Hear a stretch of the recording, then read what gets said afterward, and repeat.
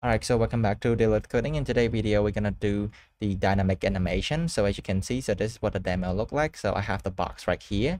So I have the input range. So whenever I change here, the box is gonna do the uh, scale down or scale up. So then we have the this nice animation right here.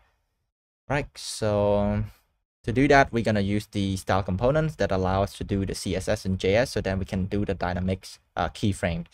So that let's let's do it. Alright, so here I'm using VS Code, so you can use any ticket that you want. And this is just a boilerplate from Create React app. So at the moment, it's just display hello world. And also in the app.css right here, I put everything into the center. As you can see, just simple CSS. And also you have to install style component into your project as well. So then we're gonna do be able to do the dynamics uh, animations. So the first thing first that we're gonna do, so we're gonna three step. First, we make the UI components and also then we're gonna do how we can run the animations uh, with style components and also then we're gonna do the dynamic animations. So with, with the UI component it's really simple. So we're gonna have two uh, components. First we're gonna have the box uh, right here just doing styles and then dot div. And then uh, so in this case I'm gonna give the width of this one um, let's say 300 pixels and then the height of this one is gonna go with uh, 100 pixels. Let's give a background background color. Background is gonna go with uh, yellow. Okay, so then instead of render the hello world right here, you can do the box. Box right here. Okay, so now we have this one. Alright, the color is not good, so I'm gonna do with the this color right here. Okay. So the next thing is we're gonna have the inputs so that this one we can do the uh, uh, range. So the type of this one is to be uh, range and then the min this one start from uh, in this case I'm to start from 0 and then to the 150 so this will be divided by uh, 100 so because we want to do the scale. So as you know the scale value is to be um, 0 I think like it's small. So this one is really big so the scale value so we need to divide that by 100 uh, and all right so you will see that in a moment. But i'm gonna give the margin of this one uh, margins uh, let's see margin bottoms to let's say 50 pixels. I'm not cared about the like what it looks. What i uh, wanted to show you today is like how we can do the dynamic animations. Now after we make the components uh, ready so we need to do the uh, animation. So how to do the animation with the style component. So you need to create the animation function. So I'm gonna do is call the animations. Right. So in here I'm gonna do animation scales. And then it's gonna be this.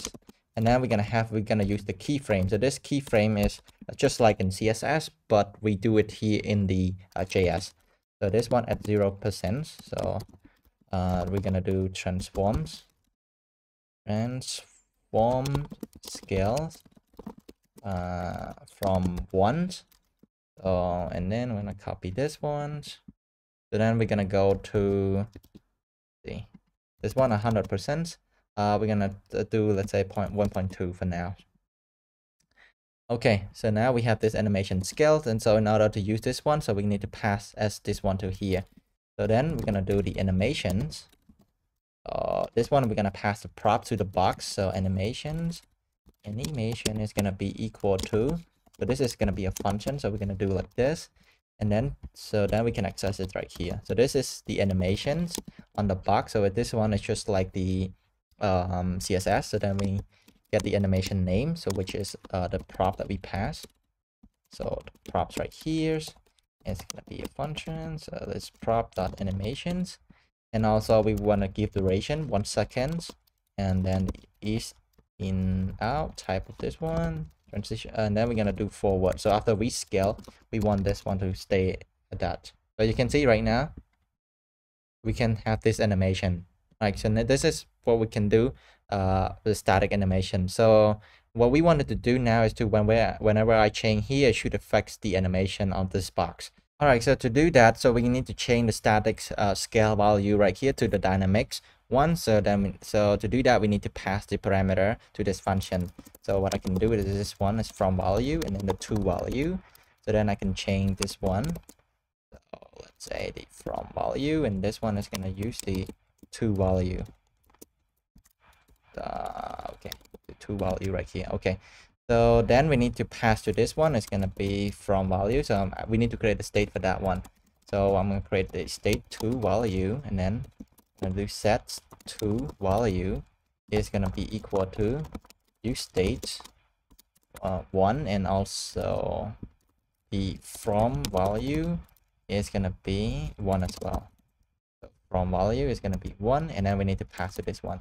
From value and to value now nothing changed. If i were to add this one let's say 1.2 so you can see that we have this animation change so then next we need to listen the value from the input right here and then we change the we do the animation here uh, update the animations. So to do that is really simple. We're gonna do on on change and then we're gonna get this event right here and then we can do set to value with the e.target.value and then the value right here is going to be from 0 to 150 so it's going to be really huge. And then so we need to divide that by 100 so then it's going to be from 0 to 1.5 only here. So if I change here so you can see it's doing the animation but the from state is all the way from 1 so because we haven't haven't update this one yet. So then we need to update this one. Uh, so we need to after you uh, change to to value and then we need to after the animation end we need to update the from value as well. The from out value to the current to value. So to do that uh, we need one we need to listen on animation end. So then we can do set from value uh, with the to value that we have in here right now. So now if I change here so you can see it listens from this current state and then it's going to this. There we go. All right, so that's it. All right, so I hope you learned something from this video. All right, see you guys in the next video. Peace.